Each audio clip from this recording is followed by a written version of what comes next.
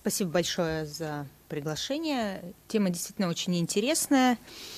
А, в том числе с точки зрения патогенеза. Безусловно, мы работаем в рамках э, классификации Всемирной организации здравоохранения, которая была опубликована в 2017 году. И если обратиться к этому руководству, то, а, как сказал уже Замир Ахмедовна, это довольно редкое заболевание, составляющее менее 2-3% злокачественных образований щитовидной железы. И можно все медулярные раки поделить на две большие группы неравные. Это спорадический рак, который составляет 70-75% случаев – возникает, как правило, у людей среднего возраста, это солитарный узел, и группа наследственных образований, которые составляют до 1 трети случаев, как правило, развиваются у более молодых пациентов и входят в состав наследственного синдрома МЭН-2. А, что же общего или разного в патогенезе этих образований. Их э, роднит, пожалуй, только довольно частое выявление мутации в гене RED, который является облигатным наследственной мутацией для наследственных форм рака и выявляется в довольно большом проценте случаев спорадических раков. Но при этом э, различия тоже довольно существенные, но мы начнем все-таки с того, что общее. Это RED. RED – это трансмембранный белок, который а, приводит к активации внутриклеточно двух сигнальных путей, которые всем хорошо известны, которые зачастую участвуют в патогенезе различных опухолей, различных локализаций. Это мапкиназный путь, компонентами которого являются белки РАС, РАФ, МЕК, всем известные, а, и PI3K, МТОР, а, АКТ, сигнальный путь. Оба этих пути приводят к активации пролиферации клеток, повышению их способности выживать в условиях окружающей среды, а также э, к э, повышению способности к инвазии. То есть это туморогенный эффект, очевидный, который э, через РЭТ реализуется. Что из себя представляет этот белок? В норме он состоит из трех частей, у которых а, которая есть у него внеклеточная часть, внеклеточный домен, который в свою очередь состоит из двух отделов. Это катхерин подобный. А, Катхерины, известно, это группа белков, которые а, в первую очередь реализуют межклеточные взаимодействия и участвуют в поддержании целостности клеточного пласта для эпителиальных опухолей. То есть это очень важный, важная функция для эпителиальных опухолей, большинства из них. Есть э, богатый цистеином домен, трансмембранный домен и э, внутриклеточный домен с тирозинкиназной активностью. Тирозинкиназы хорошо известны в патогенезе, опять же, различных опухолей, э, и именно за счет тирозинкиназной активности реализуется трансдукция сигнала из внеклеточной среды во внутриклеточную. В норме функционирует этот рецептор следующим образом. У него есть целый ряд лигандов, с которыми он способен связываться. И при связывании с лигандом происходит димеризация рецептора. То есть для того, чтобы а, сигнал из, в, из наружу клетки, из внеклеточной среды попал внутрь, необходима димеризация рецептора, то есть э, когда происходит спаривание двух субъединиц, и только тогда происходит активация тирозинкиназного домена и активизация всех ниже лежащих внутриклеточных э, путей передачи сигнала. А, это мутация в этом гене, который кодирует э, данный белок, представляющий себя рецептор, встречается в наследственном раке, является характеристикой этих опухолей.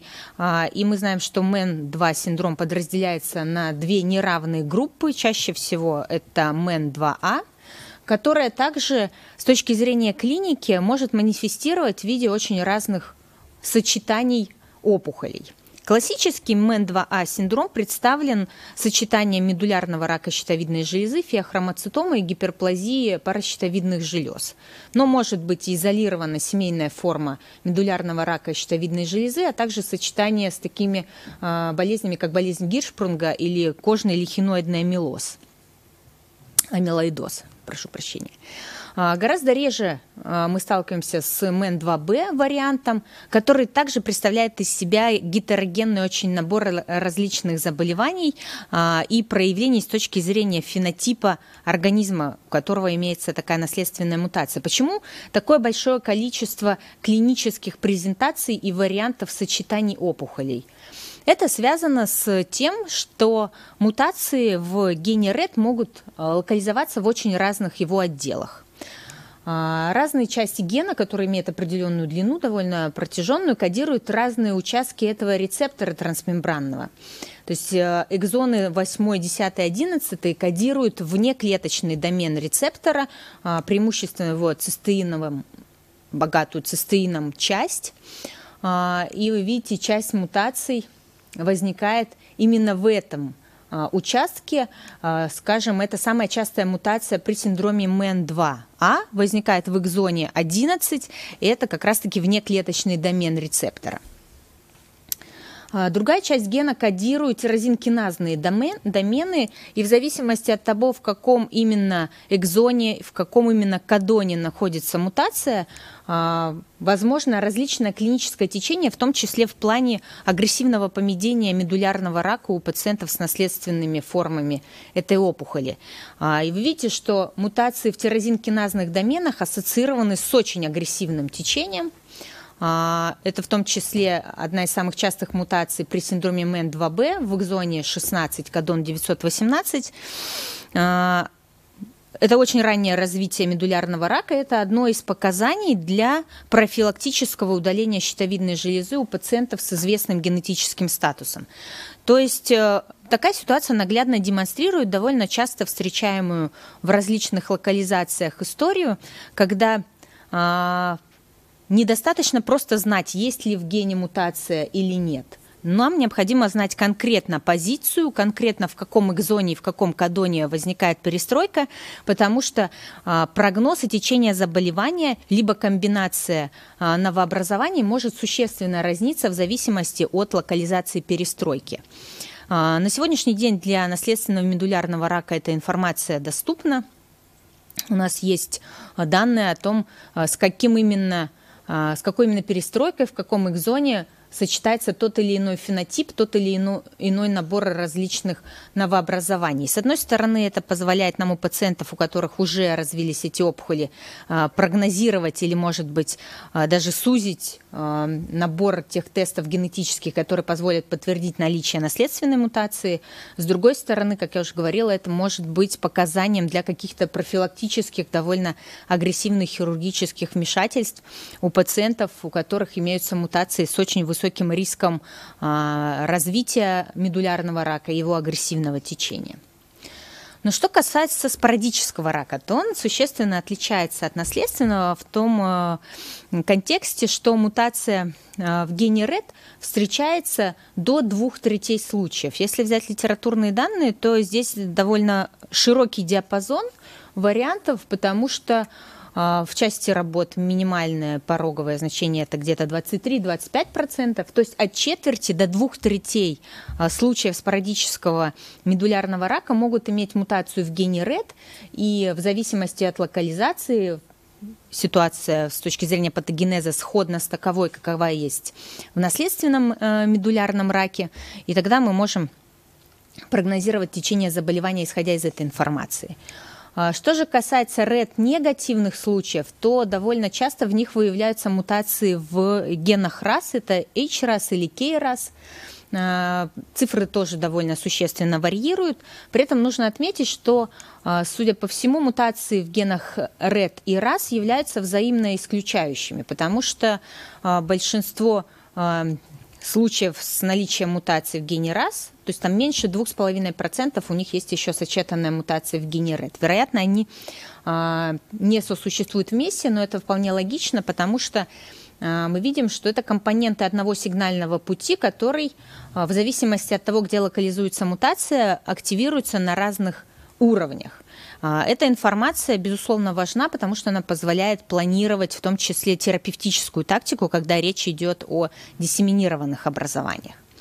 А, кроме того, в более редких случаях возможно а, выявление перестроек с участием гена RED не по типу мутации, а по типу транслокации с формированием фьюжн-партнера с геном MIG-13 это не такая частая ситуация, но тоже приводит к активации сигнального пути RED, RAS, M, M и так далее. Кроме того, возможно встреча фьюжн партнеров с геном АЛК, который тоже известен э, довольно широко.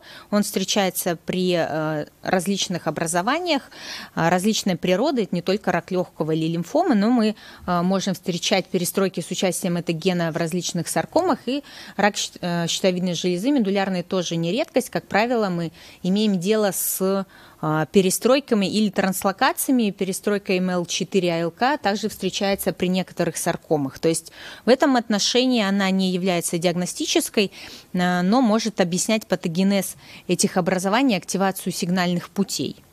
А, кроме того, в ряде случаев возможно гиперэкспрессия EGFR или эпидермального фактора роста, что тоже может быть мута- мишенью для а, воздействия терапевтического, гиперэкспрессия цимет, а, цикит или а, фактора роста сосудов. Это встречается гораздо реже, но если встречается, то может служить мишенью.